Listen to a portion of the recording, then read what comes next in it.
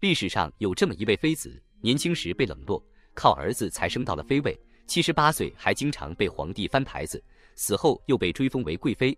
这说的就是历史上的于妃。今天我们就来聊聊她的一生。要说好色的皇帝，那么乾隆一定要算一个。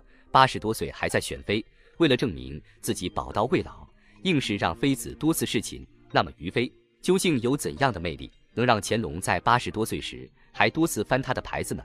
是她面容姣好，令人钟爱，还是她懂得与夫君的相处之道呢？其实这些原因统统和她没有关系。于妃的一生大多是不受宠的。她出身于科里叶特氏，因为祖辈在吴三桂叛乱时期叛变反清。导致家族一直在朝中受到歧视和打压。从康熙到雍正时期，于妃的父亲最高也只是个从五品的小官。而就在这时，于妃被送入王府，成为了王妃之一。当时的乾隆还是个皇子，但是大家都知道，这个皇子是未来要继承大统的皇上，这一点毋庸置疑。因此，嫁到乾隆家，对于当时的富家女子来说，是一件多么幸运的事。然而，于妃在入府后并不得宠。他出身并不高贵，性子内敛，相貌平平。他知道自己没背景、没姿色，因此在宫中一直谨言慎行，不争不抢。很多时候还没有一个下人有存在感。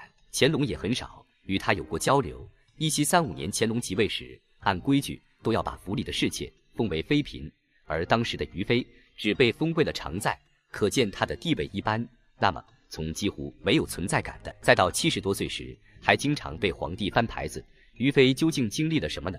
那是在乾隆即位两年后的一日，他在后花园闲逛，在众多身影中看到了于妃。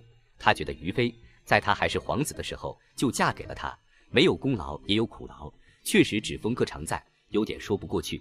因此召见于妃，象征性的给他升了一级，成为了贵人。而于妃性格沉稳，没有那么多的弯弯绕，不懂得讨好皇帝，在被升为贵人的时候也没抓住机会，因此日后依旧不起眼。然而，随着一年又一年过去，比他后入宫的秀女都被封了妃，可他还只是个贵人，他却毫不在意。他觉得过好当下，平平淡淡才是真。在这偌大的深宫中，下人和妃子都为服务皇帝而存在，他却像个局外人一样，看着宫里一幕幕景象的发生，和他没有任何关系。然而，命运总是让人难以捉摸。就在他以为要一个人过完这辈子的时候，终于迎来了他改变命运的转折点。一天晚上，不知为何，乾隆选中了毫不起眼的于妃侍寝。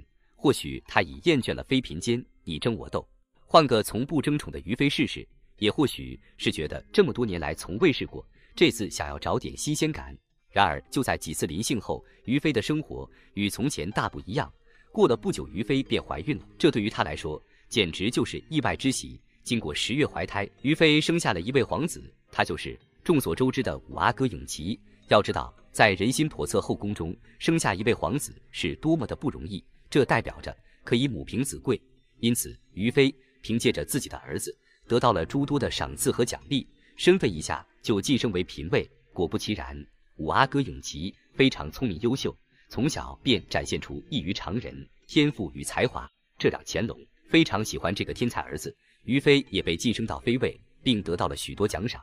就这样，于妃凭借自己的儿子。在后宫站稳了脚跟，逐渐有了一定的地位。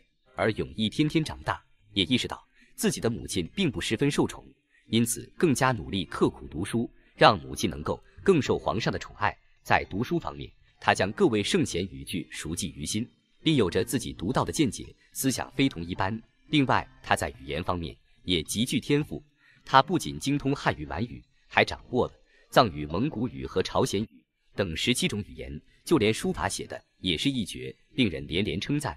永琪不仅文采斐然，习武方面也极具天赋，骑马射箭样样精通。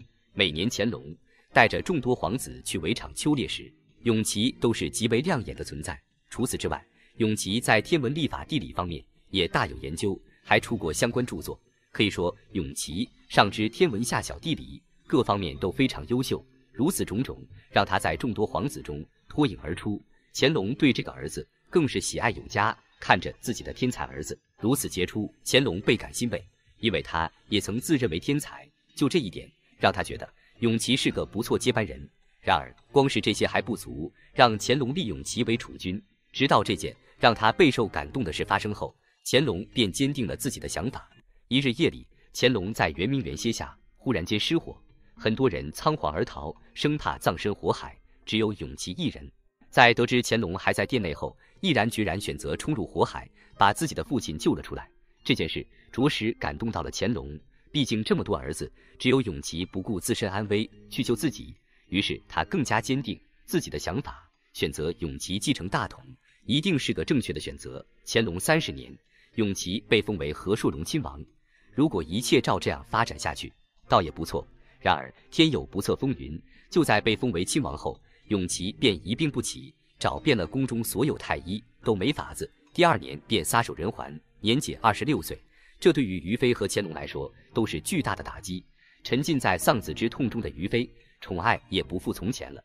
毕竟她是因为永琪才得宠的，而此时皇上身边也又添新人，令妃淑妃地位都在她之上。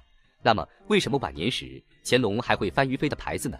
我们都知道，一直以来永琪之死。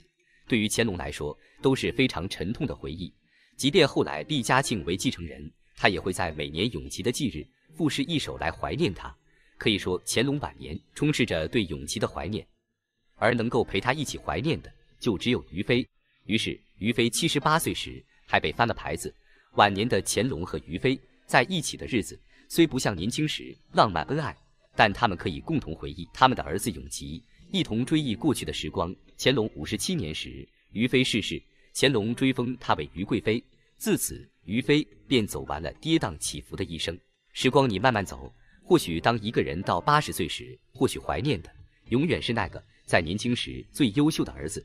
乾隆虽为天子，但逃不出这样的宿命。中年失爱子的痛苦，或许只有亲生母亲和父亲才能体会到。今天就到这，下期见。